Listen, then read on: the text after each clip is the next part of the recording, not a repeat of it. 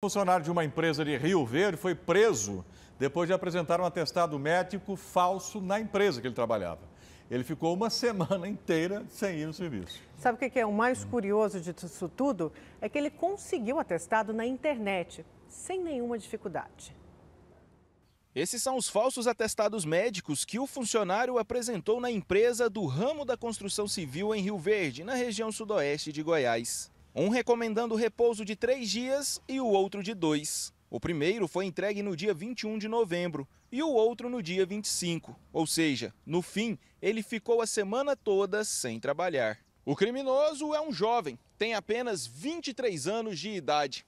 Ele trabalhava como ajudante geral na empresa. E depois que a farsa foi descoberta, ele acabou demitido e também foi preso pela Polícia Civil. A Polícia Civil foi acionada pelo médico aqui da cidade, que teve conhecimento que um documento em seu nome, um atestado médico, foi falsificado. Consequentemente, foi feito o trabalho investigativo. Essa pessoa foi encontrada, foi presa. Ele responde agora não somente pela falsificação de um atestado médico falso, mas também pelo uso desse documento, o que caracteriza crime pela legislação brasileira, estando essa pessoa sujeita a uma pena que pode ultrapassar seis anos de reclusão. Durante a abordagem policial, o funcionário revelou que foi ele mesmo quem confeccionou os falsos atestados, com a ajuda de um site na internet. Ele chegou a mostrar o passo a passo para os policiais. Aí você clica aí, aí você põe os dados. Põe os dados. Aham. Os dados do centro médico, tudo, o nome do médico.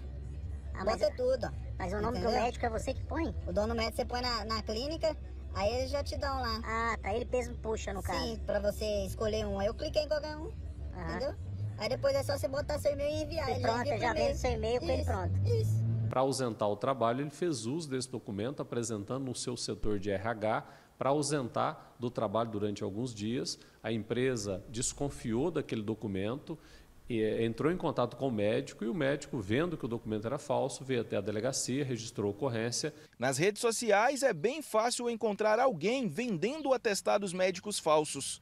Basta uma busca rápida na internet que aparecem vários perfis oferecendo documento fraudulento. Em média, os falsificadores cobram 130 reais por atestado, mas o valor pode aumentar dependendo da quantidade de dias de repouso desejado. Responde pelo crime aquele que produz o documento falso e aquele que faz uso do documento. Toda pessoa que compra um atestado médico ou qualquer documento, sabendo que é de procedência ilícita, ele foi falsificado, e fazendo uso daquele documento, responderá criminalmente.